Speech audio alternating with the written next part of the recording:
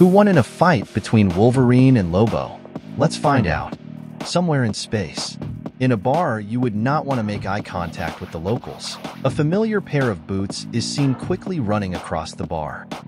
Wolverine dives at Lobo, claws extended ready to strike. Lobo is not impressed or scared by Wolverine. Lobo rams his meat hook in the front of Wolverine's chest, stopping him in mid-sentence. Ripping the hook out himself, Wolverine tells Lobo about his healing factor. Logan returns the favor by slashing at Lobo's face with his claws. The fight carries on behind the bar. Wolverine's hand rises from behind the bar.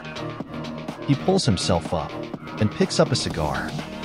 He takes a puff of his cigar, looking on as if the fight was just another day at the office. Who did you think would have won this fight?